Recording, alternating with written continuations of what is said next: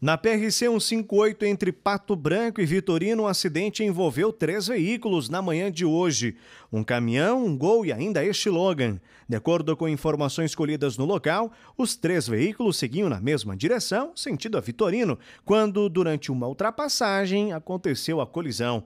Felizmente, nenhuma pessoa ficou ferida. Uma equipe da Polícia Militar de Vitorino foi acionada para controlar o trânsito e auxiliar os motoristas envolvidos no acidente até a chegada da Polícia Rodoviária Estadual.